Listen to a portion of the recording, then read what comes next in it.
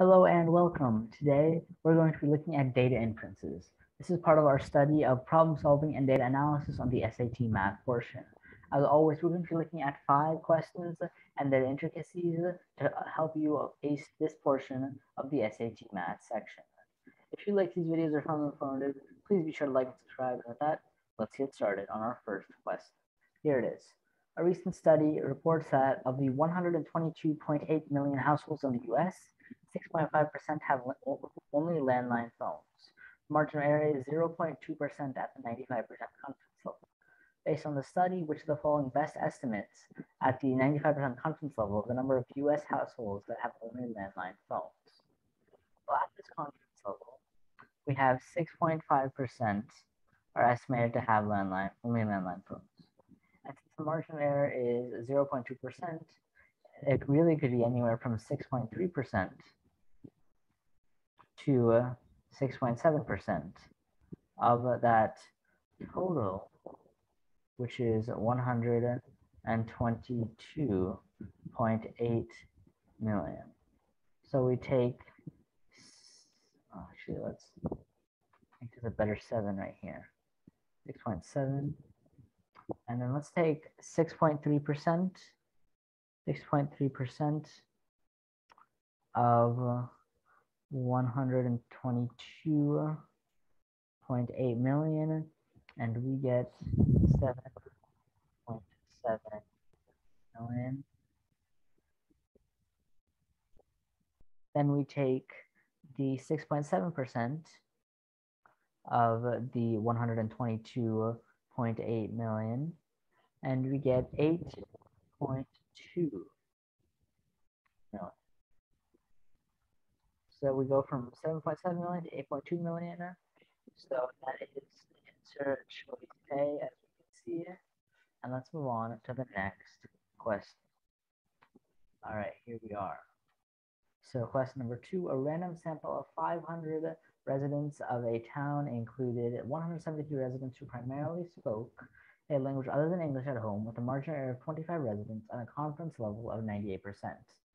If the town has 25,000 residents, how many residents primarily speak a language other than English at home at a 97% confidence level?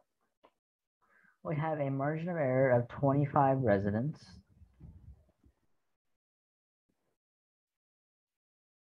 Out of, and then we said that 173 out of the five 500 speak uh, differently other than English mostly.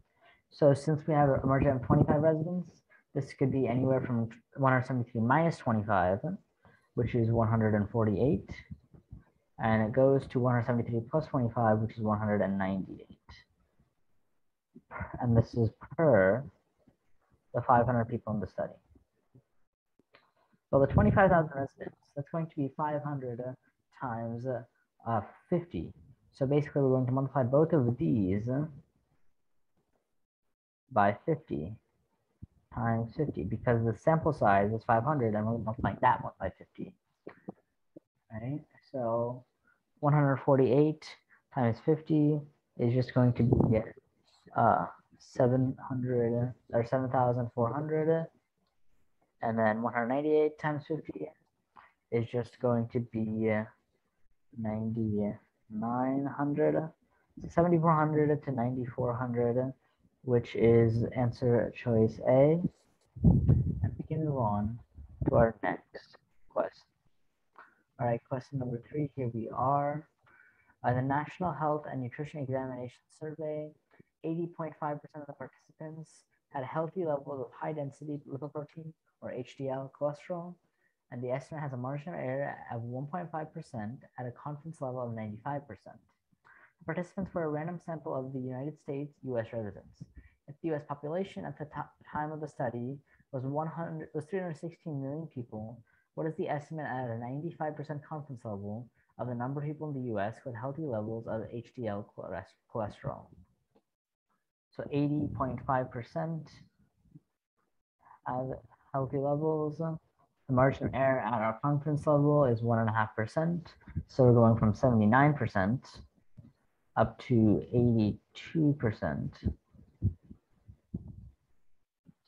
Uh, so we take that both of those out of the 316 million people,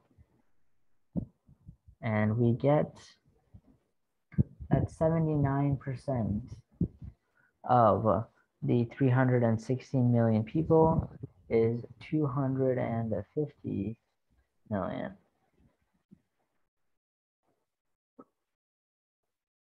Then we take the 82% of the 316 million, and that gives us 259 million people.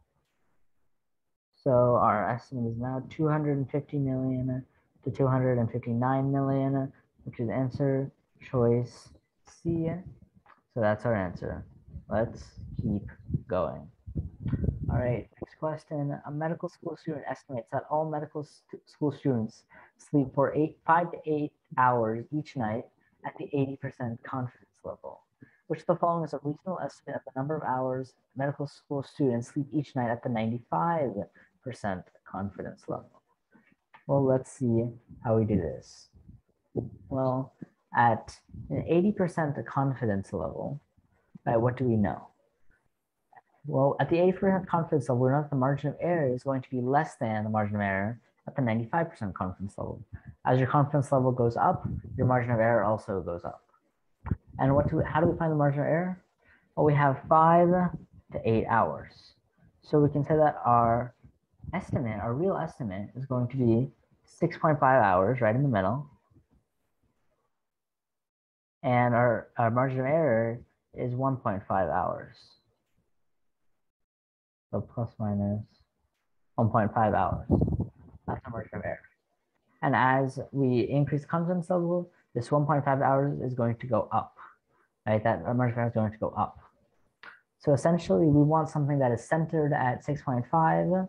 So essentially if we add up these two numbers, we get 13 or 6.5 times two. So we get 13 and the margin of error should be bigger than 1.5. So one should one of them should be less than what five, one of them should be greater than eight. And we can see that answer choice D does not work because it doesn't add to 13.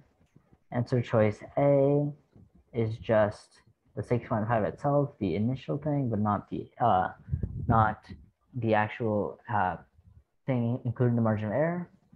And then we see that uh, six to seven hours has a shorter margin of error than the the five to eight, as it only uh, that only has a margin of error of 0.5 hours. So our answer is going to be three to 10 hours. It adds up to 13 and its margin of error is going to be three and a half hours, which is greater than the initial margin of error as we increase the confidence level. And that's our answer.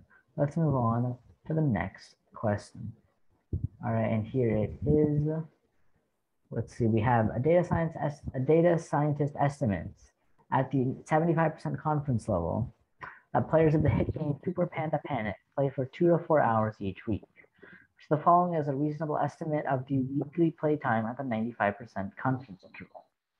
So we're going from two to four, and we're going to do the same thing we did last time. So our estimate is three hours, and the margin of error is one hour. Since we're increasing the confidence level to 95%, the margin of error increases. So we need to uh, add to six. But the distance, the distance from three has to be greater, margin of error has to be greater than one hour since we increase confidence level from 75% to 95%. And looking at our answer choices, the only one that fulfills this is answer choice B, one to five hours. So that's our answer. And we're done. So as you can see here, the uh, the about data inferences, there are really a couple main ideas that you need to remember, and that's it. So the main the main ideas that we have here are that if we increase the confidence interval, we increase the margin of error, if we decrease the confidence confidence interval, we decrease the margin of error, and uh, if we if we're given if we if we're given an estimate and a margin of error, then we need to find the lower the lowest point and the highest point to get a real estimate of what the number could actually be. That is it for this topic, and I'll see you next time.